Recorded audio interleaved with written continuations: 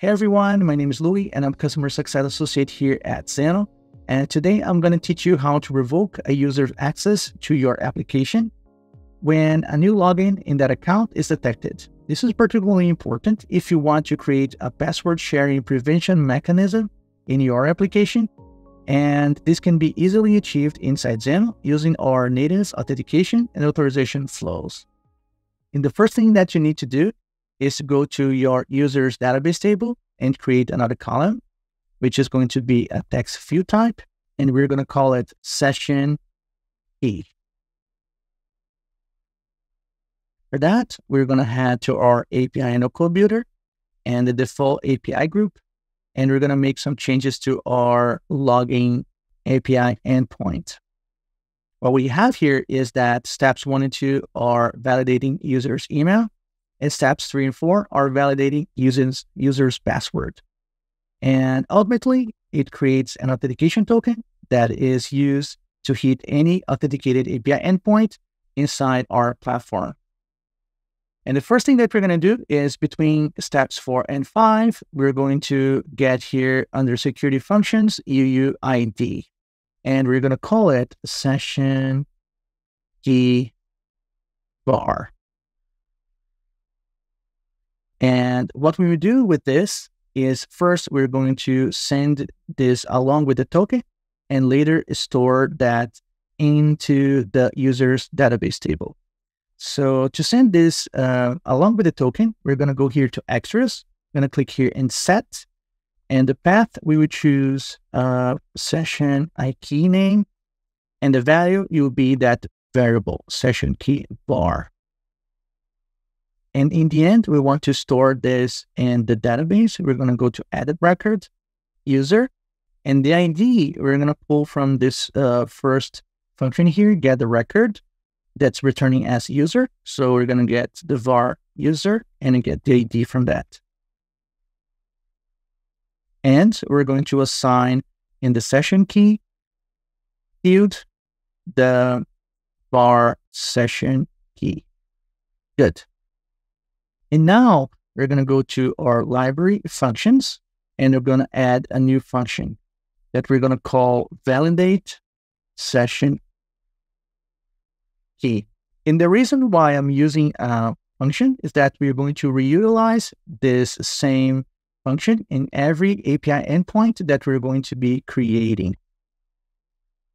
And this function will be very simple. We only have two steps.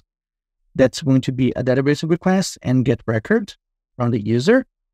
And the ID we're going to pull from the auth token. And we're going to create a precondition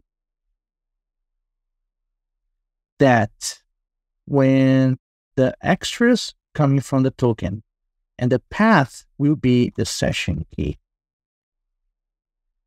If the session key is equals to the user's session key.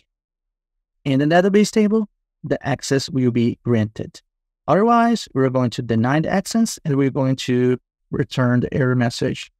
Uh, this account has had a new login. Good. Let's publish this. And now we're going to go here and create a new API endpoint. Let's call it API 123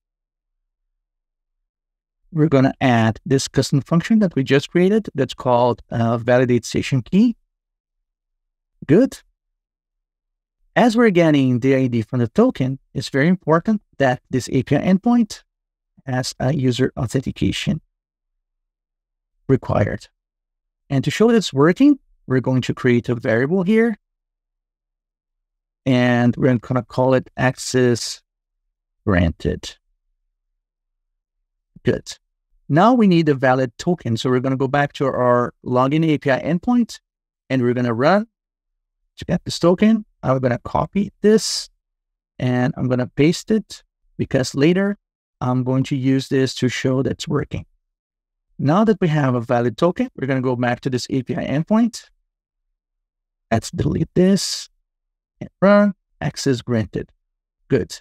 And now let's go back and get a new login. So I'm going to get this token. And save this.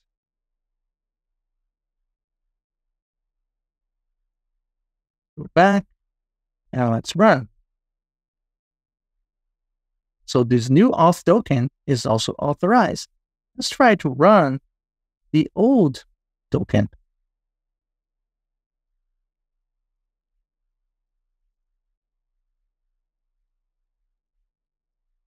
And now the access is denied because this, this account has had a new login session. That is great. So if you have any questions, leave here in the comments below. If you want to learn more about the platform, go to community.xano.com. You can always reach out to support via chat. And don't forget to subscribe to Xano YouTube channel. See you in the next video.